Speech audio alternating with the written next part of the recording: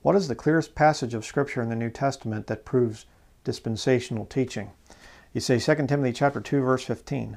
Uh, no, actually, that's just giving you the order, the command to rightly divide the word of truth.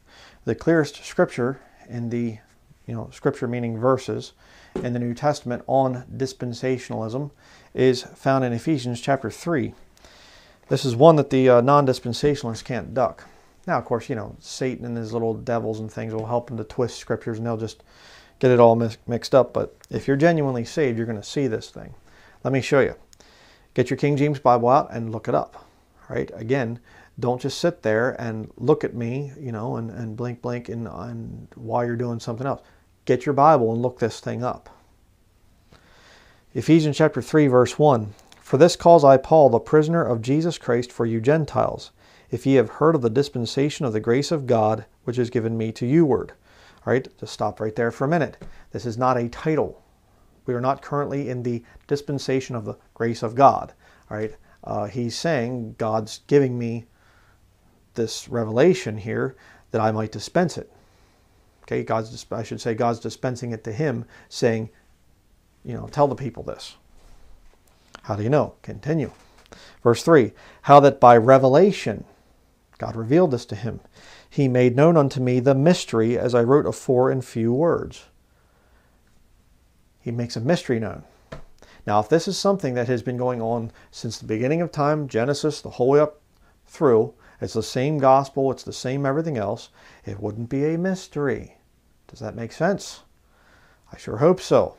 You see, in the New Testament, there are certain mysteries that are given to truly saved Christians that lost people aren't going to understand. They're dead in trespasses and sins. They're spiritually dead. Ephesians chapter 2 talks about that. And you hath he quickened, verse 1, and you hath he quickened who were dead in trespasses and sins. All right? Lost people are dead in trespasses and sins. 1 Corinthians chapter 2, verse 14 talks about the natural man cannot receive the things of the Spirit of God. All right? They can't get it. They don't understand it. And the mysteries that are there, uh, that are given to a Christian, are things that they don't get. Right? These are things that are first revealed to Paul.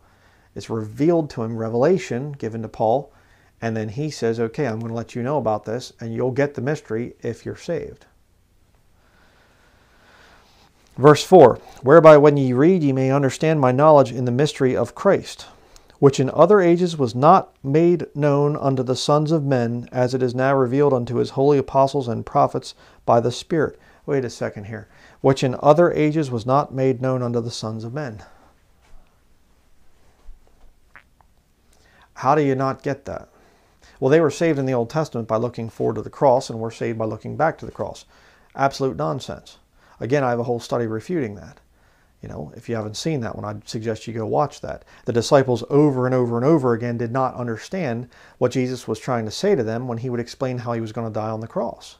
They were not saved by looking forward to the cross. They didn't even understand what was what it was all about. And Jesus Christ, when he dies on the cross, comes up from the dead, he's walking with his disciples, and they still don't get it. So don't believe this non-dispensational lie that they got saved by looking forward to the cross before Jesus died on the cross. You know, it's nonsense. And you say, well, but the, the, the, the Old Testament sacrifices that they did were, were in type Jesus Christ. Well, in type, yes, but they were not the sacrifice of Jesus Christ. Otherwise, Jesus Christ wouldn't have had to die on the cross. You, you, but see, here's the whole thing. This just is basic stuff to you. If you're saved, you're going, well, yeah, this makes sense. But a non dispensationalist is a lost person, and they'll go, well, but but what about the and, they, they just try to twist and contort the scriptures because of their lost condition. Verse 6 that the Gentiles should be fellow heirs and of the same body and partakers of his promise in Christ by the gospel. Um, no, no, Paul, that's not a mystery. Okay, this is stuff that's been there, Genesis to Revelation. It's all the same thing. Uh, again, where are the Gentiles being saved in the Old Testament? Where are they going out? The Jews going out to the Gentiles and witnessing to them and preaching the gospel. Just missionary trips and stuff like this. Where's it at in the Old Testament? If the gospel's the same, it should be there. You see how the non dispensationalists have pulled your leg? You see how they deceive you? Verse 7 whereof I was made a minister according to the gift of the grace of God given unto me by the effectual working of his power. Unto me, who am less than the least of all saints, is this grace given, that I should preach among the Gentiles the unsearchable riches of Christ, and to make all men see what is the fellowship of the mystery, which from the beginning of the world hath been there, and everybody knew it. Thank you for watching. uh, no, it doesn't say that.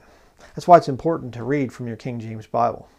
It says, which from the beginning of the world hath been hid in God who created all things by Jesus Christ. Hid? It's been hidden and revealed to Paul? Over 4,000 years, this thing's been hidden. And now it's revealed to Paul? Yeah, that's why it's called a mystery. That's why lost people still to this very day don't get it. There's a lot of mysteries in the Bible. Again, I have a study on that. You can look at some of the different mysteries in the Pauline epistles that are given to a New Testament Christian that lost people aren't going to get. They're going to get it messed up. You see, for many, many, many centuries, being a Bible believing Christian meant you were hunted down like an animal uh, by the governments, by the Catholic Church, uh, by Islam, by a lot of the other things, even a lot of the wicked Jews and things were hunting down Christians. You see that throughout the Pauline epistles. Um, they were traveling, you know, they'd find out Paul's over in some other city, they'd follow him over there and try to get him. You know, a couple times they had him and they were trying to kill him and things. I think the one time they actually did kill him. Um, and the, you know, the brethren carrying him out, you know, of the city thinking that he's dead. And, they, you know, he gets up and goes back into the city and preaches. Okay, uh, Christians have had, you know, enemies, serious enemies uh, pretty much since the beginning there. Um, so uh, don't you think it might be kind of important for the Lord to set up a system whereby we can tell uh, who's a false brother or sister or whatever? Don't you think the Lord might have something there that he can supernaturally reveal to those that are saved and lost people aren't going to get it? So if you get to talking and things like this to people, you can tell who's a real versus a false convert to keep yourself safe. Yeah, that's what the Bible teaches. So just wanted to go over that real quickly here because um, it just amazes me how these non-dispensational people can twist the scriptures. And uh, you know they'll they'll say I, I, think the one of the funny ones is they'll say you know dispensation's a Bible word, but that doesn't mean we have to be dispensational. You know because presbyter is in the Bible, and that doesn't make me a Presbyterian. like, they're so desperate so incredibly desperate. They just can't handle the plain teachings of Scripture. And like I said, you know, in another study, they'll do this thing if they say, well, we acknowledge that there's an Old Testament and a New Testament. You know, so there's the proper division of Scripture. But then they don't turn around and divide it. They say it's the gospel's the same in both. And like I said, what was the point of Jesus Christ coming to the earth and dying on the cross if the people already had the gospel? Don't listen to the non-dispensational heretics. They will lead you astray. They will cause a very serious spirit of confusion. And uh, if you're lost, uh, you're never going to get saved listening to a non-dispensational preacher. Thank you for watching.